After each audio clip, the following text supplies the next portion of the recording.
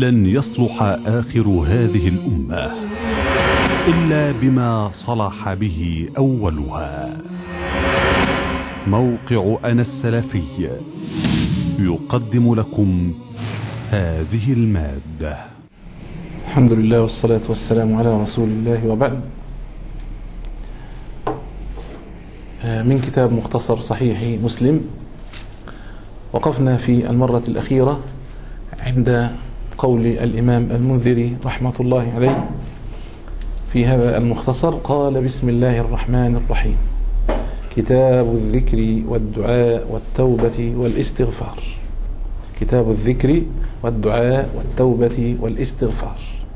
هذا كتاب جديد أيضا من يعني كتاب يعني شرح صحيح مسلم أو شرح صحيح مسلم بهذه التبويبات التي بوبها الإمام النووي رحمة الله عليه. قال كتاب الذكر والدعاء والتوبة والاستغفار. والمقصود يعني أن هذا الكتاب يعنى بهذه الأمور يعنى بهذه الأمور.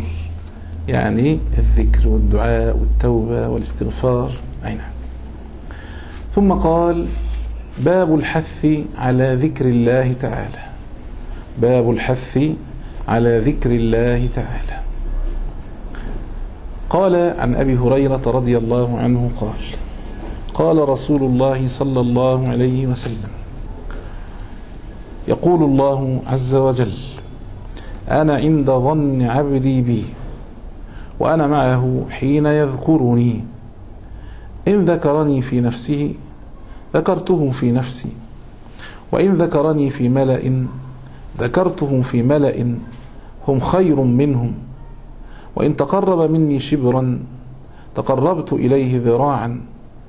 وإن تقرب إلي ذراعا تقربت منه باعا. وإن أتاني يمشي أتيته هرولا. باب الحث على ذكر الله تعالى. أي ما يأتي من الحث على ذكر الله تعالى. وذكر هذا الحديث وهو حديث قدسي وهو حديث قدسي. وهذا من الأحاديث القدسية أو الأحاديث الإلهية كما يعني يسميها العلماء. وهي الأحاديث التي أخبر بها النبي صلى الله عليه وسلم أو قالها النبي صلى الله عليه وسلم حكاية عن ربه سبحانه وتعالى حكاية عن ربه سبحانه وتعالى. فيقول النبي صلى الله عليه وسلم قال الله قال الله كذا. فهذا يسمى حديث إلهي أو حديث قدسي. واختلف العلماء في توصيفه. ومنهم من قال هو من كلام النبي صلى الله عليه وسلم. المعنى من الله المعنى من الله والكلام من النبي صلى الله عليه وسلم. ومنهم من قال المعنى واللفظ من الله عز وجل. المعنى واللفظ من الله عز وجل. والفرق بينه وبين القرآن كثير. إن هذا لا يتعبد به في الصلاة ولا يتعبد به في عدد الحروف وكذا. لأجل الجواب على من يقول طب ما هو الفرق؟ إذا كان هذا من كلام الله معنى ولفظا. فما الفرق بينه وبين القرآن؟ فالفروق كثيرة. يعني محلها كلام العلماء في ذلك. قال يقول الله عز وجل أنا عند ظن عبدي بي. أنا عند ظن عبدي بي. يعني ما المقصود بظن عبدي بي؟ قال الإمام القاضي رحمة الله عليه قيل معناه يعني أنا عند ظن عبدي بي أي بالغفران له إذا استغفر والقبول إذا تاب والإجابة إذا دعا. والكفاية إذا طلب الكفاية. يعني أنا عند ظن عبدي بي. إذا دعاني أجبته أنا إذا استغفرني غفرت له.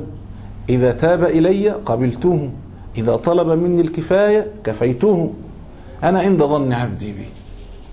وأيضا قال وقيل المراد به الرجاء وتأميل العفو. الرجاء وتأميل العفو إن العبد عند ظن أنا عند ظن عبدي بي يعني العبد يكون عنده رجاء في الله ويأمل في عفو الله سبحانه وتعالى. فأنا عند ظنه إن كان يظن بي ذلك إن كان يظن بي ذلك. وكلها معاني غير متعارضة. فإذا كان العبد يحسن الظن بربه وجد ما يعني يعني كان هو عليه. أنا عند ظن عبدي به. إذا ظننت بربك أنك إن تبت إليه يقبلك قبلك. إذا ظننت بربك أنك إذا رجوت عفوه عند مصيب ذنب أو نحو ذلك عفى عنك. إذا رجوته في قبول عمل قبله منك وهكذا. أنا عند ظن عبدي بي وأنا معه حين يذكرني. وأنا معه حين يذكرني. أنا معه حين يذكرني. وهذه معية خاصة. هذه معية خاصة. وإلا فمعية الله عز وجل لعباده معيتان. معية عامة وهي معية العلم والإحاطة يعني التي تقتدي العلم والإحاطة. ومعية خاصة وهي التي تزيد على المعية العامة بالتوفيق والسداد والتأييد. هذا يكون ل يعني أوليائه أن يكون معهم معية خاصة مقتضاها التوفيق والتأييد والنصرة. أي نعم. إني معكما أسمع وأرى. فهذه فيها معية التأييد لنبي الله موسى عليه السلام وأخيه هارون. قال وأنا معه حين يذكرني. قال إن ذكرني في نفسه ذكرته في نفسي. إن ذكرني في نفسه يعني ذكرني خاليا. إن ذكرني خاليا ذكرته في نفسي. الله عز وجل يجعل له ما هو أحسن وما هو أعظم فيذكره في نفسه سبحانه وتعالى. وإن ذكرني في ملأ ذكرته في ملأ هم خير منهم. وإن ذكرني في ملأ يعني جماعة من أشراف الناس جماعة من أشراف الناس من أفاضل الناس. إن ذكرني في ملأ والملأ هم الأفاضل الأشراف يعني العلية إن ذكرني في ملأ أو يراد هنا بالملأ الجمع. إن ذكرني في جمع ذكرته في جمع هم خير منهم. والمقصود هنا الملائكة. أي أن الله عز وجل يذكره عند الملائكة. فيقول ذكرني عبدي فلان انظروا إلى عبدي فلان وكذا ويثني عليه عند ملائكته. وهنا فائدة يعني نقف عليها وهي أن هذا الجزء من الحديث احتج به يعني من قال أن الملائكة أفضل من يعني الأنبياء وأفضل من صالحي البشر. وأفضل من الأنبياء وأفضل من صالحي البشر. باعتبار ماذا؟ ان إن الحديث فيه إن ذكرني في ملأ إن ذكرته في ملأ خير منهم. يعني إن ده معناه إن الملائكة أفضل من الإنسان. أفضل من الإنسان عموما والصالحين ونحو ذلك. فهذا استدل به من قال بإن الملائكة أفضل من الأنبياء لقوله في الحديث خير منهم. أو خير منهم.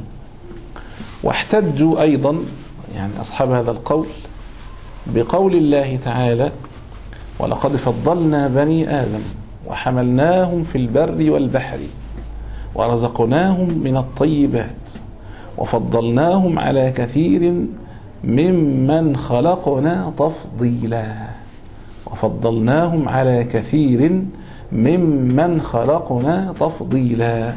قالوا فالتقييد بالكثير التقييد بالكثير احتراز من الملائكة. يعني ربنا سبحانه وتعالى قال وفضلناهم على كثير. ما قال مثلا وفضلناهم على من خلقنا تفضيلا إنما قال على كثير ممن خلقنا تفضيلا. فقالوا دليل على إنه في جزء ربنا لم يذكره هم دول الأفضل اللي هم الملائكة. ولكن هذا وإن كان جيدا في ظاهره لكن يعترض عليه بقول الله تبارك وتعالى في بني إسرائيل في بني إسرائيل. قال وفضلناهم على العالمين. على العالمين والعالمين يدخل فيها الملائكة لأن العالمين يعني كل يعني ما خلق الله سبحانه وتعالى فيدخل فيها الملائكة. وعليه. فهذا الاعتراض يدل على إنه المقصود ب ذكرني في ذكرته في ملأ خير منهم.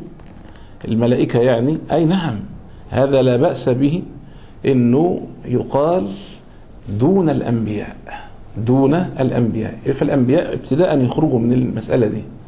يعني إن المقصود بالملأ اللي العبد يذكر الله عز وجل في ملأ أي نعم ملأ ليس فيهم الأنبياء. ليس فيهم الأنبياء. فالملائكة تكون عند ذلك أفضل منهم. مع طبعا يعني الرجوع إلى التفصيل في هذه المسألة وقد يعني فصلها شيخ الإسلام ابن تيمية رحمه الله تفصيلا عظيما وجيدا ويعني تكلم فيها بكلام خلاصته أن هناك من قال بأن صالح البشر أفضل وهناك من قال الملائكة أفضل والتحقيق أن الملائكة أفضل باعتبار الحياة الدنيا باعتبار الحياة الدنيا لأن هم في الدنيا في أيام الدنيا العباد البشر يرتكبون المعاصي والذنوب وكذا ونحو ذلك.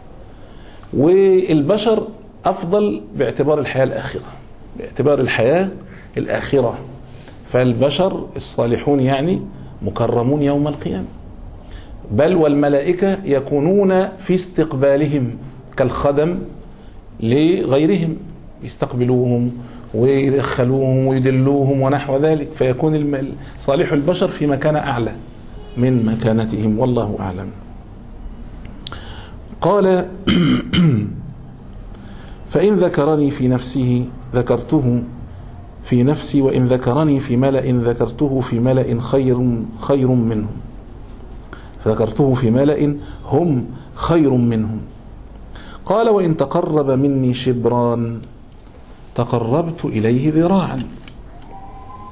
وإن تقرب يعني إلي عبدي شبرا تقربت إليه ذراعا. وإن تقرب إلي ذراعا وهو أكبر من من الشبر تقربت منه باعا وهو أكبر من الذراع.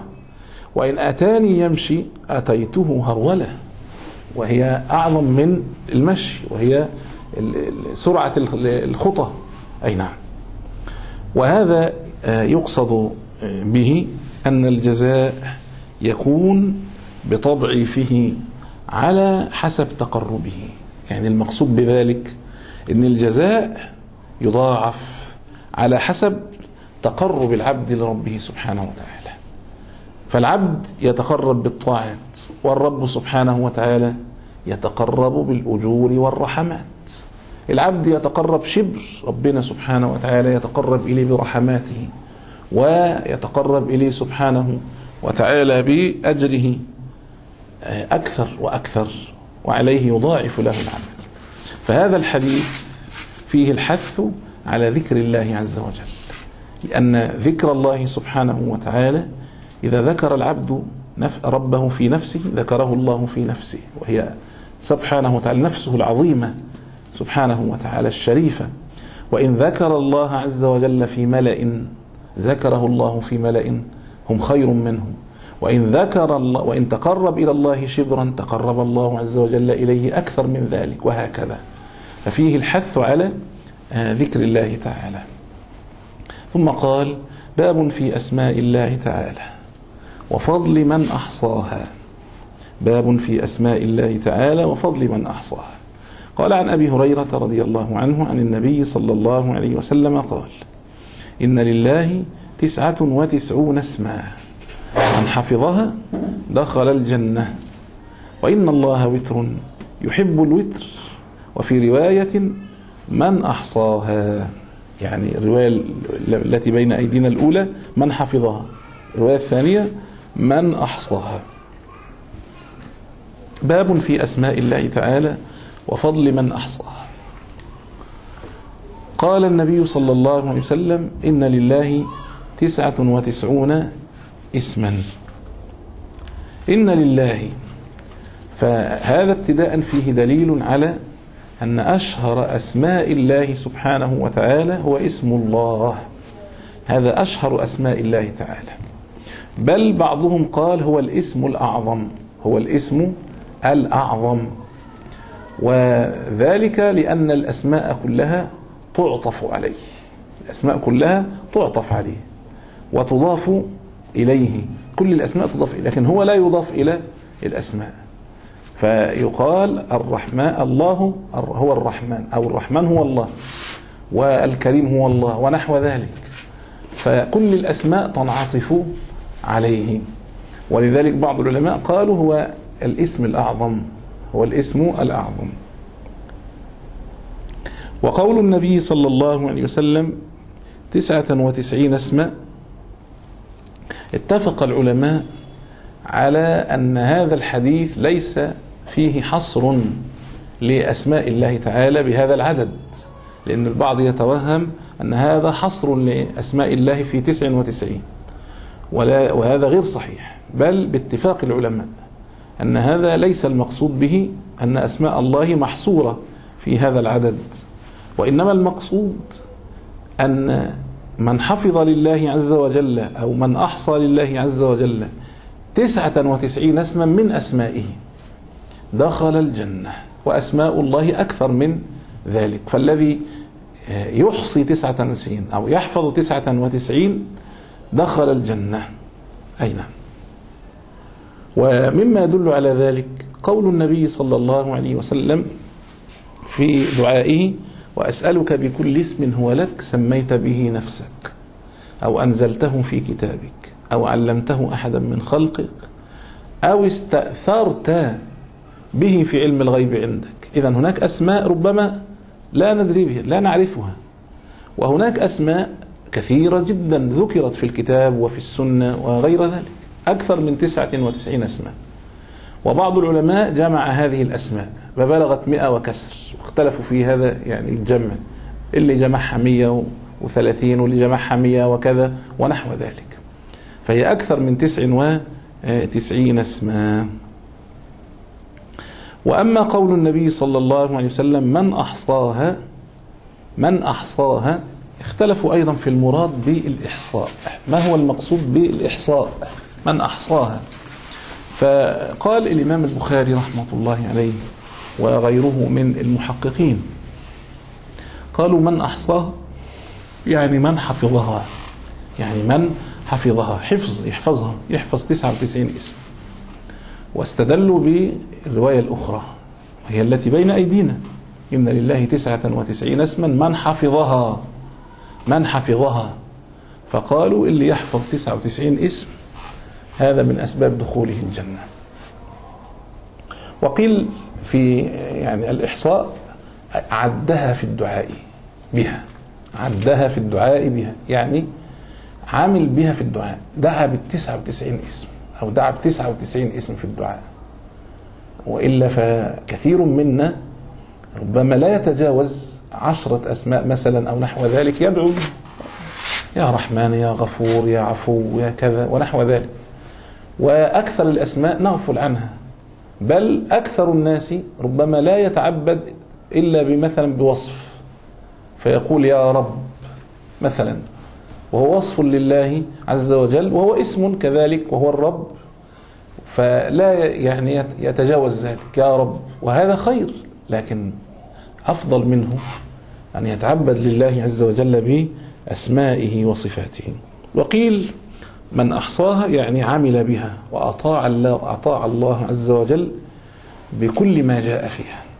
وقيل أحصاها يعني أطاقها. أحسن يعني أحسن المراعاة لها. والإمام النووي رحمة الله عليه يرجح القول الأول اللي هو من أحصاها يعني من حفظها. ولا تعارض في الحقيقة بين كل الأقوال. ولا يمنع أن يعمل الإنسان بها كلها. وإن كان يعني والله أعلم يعني الأقرب والله أعلم. من أحصاها يعني من دعا الله عز وجل بها وعمل يعني بما جاء فيها إنه تعبد لله بها. مش مجرد إنه بيحفظها كده زي ما بعض الناس بيح... الأطفال بيحفظوها. مثلا إنما يعرفها وتعبد لله عز وجل بها. وقول النبي صلى الله عليه وسلم وإن الله وتر. يحب الوتر. وفي رواية من أحصى. وإن الله وتر يحب الوتر. وإن الله وتر هذا وصف وليس اسم. يعني ليس من أسماء الله تعالى الوتر. إنما هو وصف لله تعالى. والوتر يعني يقصد به الفرد والوحدانية. إن الله واحد فرد سبحانه وتعالى. ويحب الوتر الله عز وجل يحب الوتر. يعني وكأن يعني فيه تذكير بوحدانيته. ولذلك الله عز وجل يحب الوتر الأشياء الوترية. كأنها فيها تذكير بوحدانية الله سبحانه وتعالى. ولذلك جعلت أعمال كثيرة وطاعات كثيرة بل ومخلوقات كثيرة على هذا النسق. يعني نجد كثير من الطاعات هذا على على هذا النحو إنها وتر. مثلا الصلوات خمسا وهو وتر. الطهارة ثلاثا. الطواف سبعا. السعي سبعا. رمي الجمار سبعا. أيام التشريق ثلاثا. الاستجمار أو الاستنجاء ثلاثا. كذا الأكفان وهكذا. بل وبعض المخلوقات جعلها الله عز وجل وترا. السماء سبعا ونحو ذلك. والسماوات سبع. وهكذا.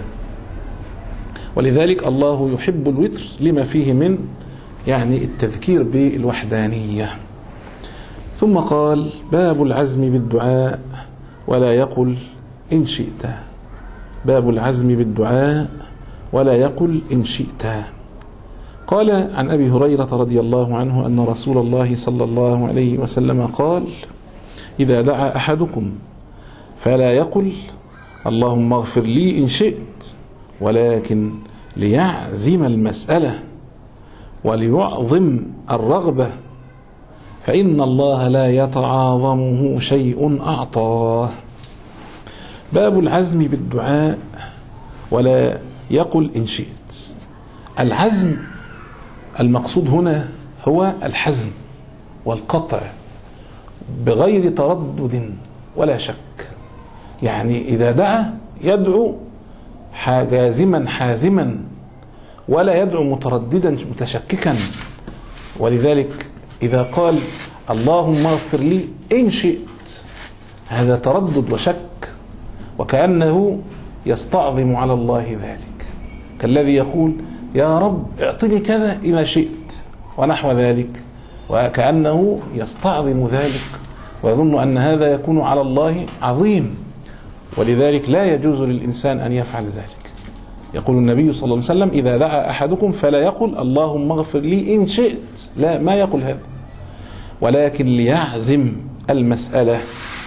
فيقول الإمام النووي رحمة الله عليه قوله ليعزم المسألة يعني الشدة في طلبها. الشدة في طلبها. وقيل حسن الظن. ب يعني من الداعي بربه سبحانه وتعالى حسن الظن بالله سبحانه وتعالى إنه يجيبه أي نعم. وأما معنى الحديث فهو استحباب الحزم في الطلب. الحديث يفيد استحباب الحزم في الطلب إن الانسان يحزم ويعزم في طلبه ما يتشكك ما يتردد حتى ولو طلب ما طلب لأن الله سبحانه وتعالى لا يعجزه شيء. وكراهة التعليق على المشيئة في الدعاء وكراهة التعليق على المشيئة لأن ذلك في حق من يعجزه شيء أما الله تعالى فهو على كل شيء قدير. اللهم اغفر لنا ذنوبنا وإسرافنا في أمرنا وكفر عنا سيئاتنا وتوفنا مع الأبرار اللهم إنا نسألك علما نافعا ورزقا طيبا وعملا متقبلا. وصلى الله على محمد وعلى آله وصحبه وسلم. قولوا قولي هذا وأستغفر الله لي ولكم. قل هذه سبيلي أدعو إلى الله. على بصيرة أنا ومن اتبعني وسبحان الله وما أنا من المشركين.